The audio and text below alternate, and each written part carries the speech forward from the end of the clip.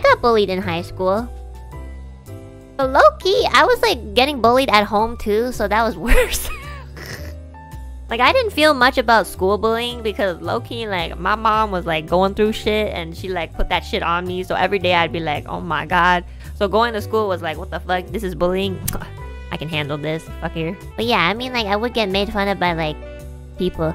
Like I don't I didn't I had like severe, severe social anxiety in high school. And like some kids like noticed that I would never speak and they would go out of their way to like make fun of me for it. Like one time I had to like present something but I didn't I didn't have like a it was like a team presentation. But because there were like an odd number of students in the class, there would be there would have to be like someone you'd either have to be like presented by yourself or you'd have to be in a group of 3 and because I was too like shy, not even shy, I'm too like anxious to ask anybody to be in the group as a group of three. I just decided to do myself.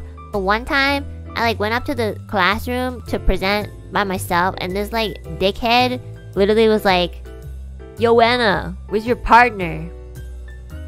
But like you know, he like he said it in a way where it's like, it's not like an actual genuine question. Like you know, I can tell the difference. Yeah, and I like. And low key, like, this is weird. Like, this is just my personality, but I have, like, severe social anxiety, but I also have, like, my father's temper.